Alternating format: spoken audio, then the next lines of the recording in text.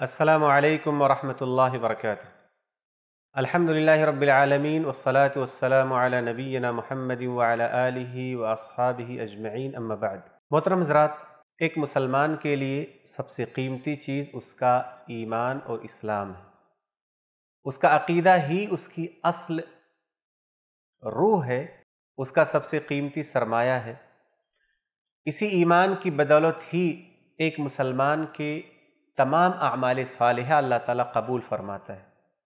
इसी ईमान की वजह से एक मुसलमान को मरने के बाद कब्र में भी अल्लाह रब्बुल निजात अता फरमाता है और क़यामत के दिन भी अल्लाह ताला ईमान ही की वजह से अपनी रहमत के ज़रिया बंदे को जहन्नम से आज़ादी अता फ़रमाएगा और जन्नत में दाखिला अता फ़रमाएगा।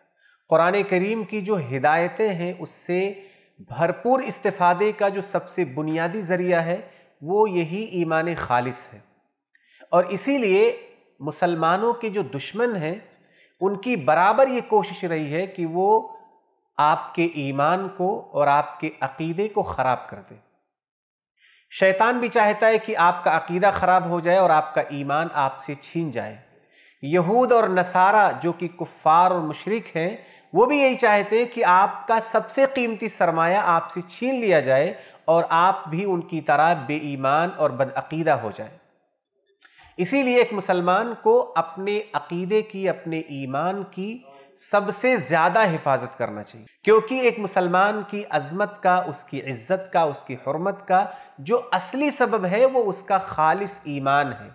वो उसकी तोहहीद का अकीदा है अल्लाह रब्बुल ने कुरान करीम में ईमान की अजमत को तोहहीद की अजमत को और उसके ज़रिया अहले ईमान की निजात और उनकी कामयाबी को बार बार बयान किया है। और साथ साथ में ये भी बयान किया है कि एक मुसलमान को चाहिए कि वो अपने ईमान और अकीदे को ख़राब होने से बचाए। उसके बातिल होने का उसे हमेशा डर होना चाहिए ताकि वो उन तमाम आमाल से, अकवाल से और उन तमाम अकायद से अपने आप को बचा सके जो उसके ईमान और अकीदे को ख़राब कर देने वाले हैं।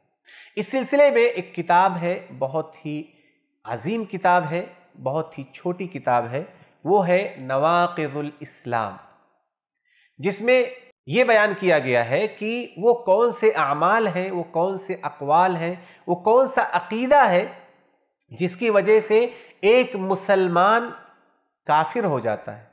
एक मुसलमान इस्लाम से निकल जाता है। एक मुसलमान का इस्लाम बातिल हो जाता है। जिस तरह वज़ू करने से एक मुसलमान पाकिज़ा हो जाता है, इबादत के लायक हो जाता है और जब उसका वज़ू किसी वजह से टूट जाता है तो उसकी तहारत ख़त्म हो जाती है और वो नमाज़ पढ़ने के लायक नहीं बचता है। ऐसे ही एक मुसलमान इस्लाम में आता है तो हालत पाकिजगी में होता है। लेकिन वो कोई और काम करता है, जिसकी वजह से उसका अकीदा बातिल हो जाता है, इस किताब में ऐसे ही दस आमाल और अकवाल की तरफ़ इशारा किया गया, उसका ज़िक्र किया गया है, जिसके इरतकब करने से एक मुसलमान का ईमान बातिल हो जाता है। जिस तरह तोहद सीखना हम सब पर फ़र्ज़ है, वैसे ही तोहद को बचाने के लिए हमें इन दस नवाक़ को भी सीखना ज़रूरी है, ताकि हम अपने ईमान को ख़राब होने से बचा सकें। अल्लाह रब्बुल से दुआ है कि अल्लाह ताला हम सबको तोहद सीखने की तोफ़ी फ़रमाए और वो दस चीज़ें जो इंसान के तोहद और उसके ईमान को बातिल कर देती हैं, उसे भी सीखने की तोफ़ी फ़रमाए। आमीन। अल्लाम वरहमल वर्क ऐसे ही फ़ायदेमंद इस्लामिक वीडियोस देखने और मनहज सलफ़ पर किताब व सुन्नत की तालीमत को आम करने में हमारा ताउन करें, ताकि आपके लिए ज़रिया नजात, जन्नत के हसूल का सबब, साथ ही माल में बरकत व इजाफे का ज़रिया भी बने। आमीन।